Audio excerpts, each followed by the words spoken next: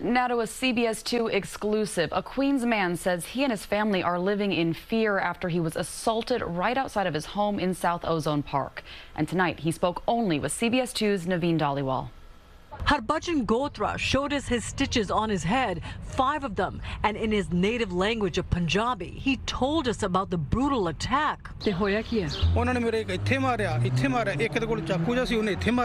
It was last Thursday when Ghotra says he was walking out of his home on 134th Street near Sutter Avenue just before noon when a group of men approached him.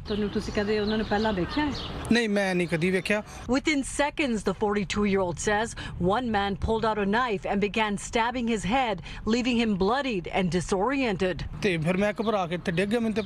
As Ghotra sat gravely injured with his children inside his home, a neighbor called 911 and the news of the attack began to circulate.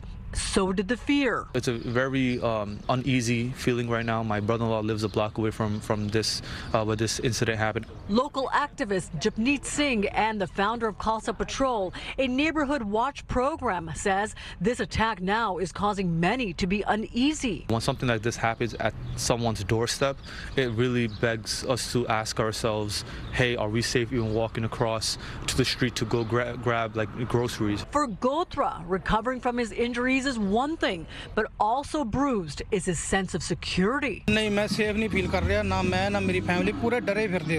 Police say right now they're looking for one person who took off in a white Honda Accord. They're also looking for a motive behind the attack. So far, no one has been arrested.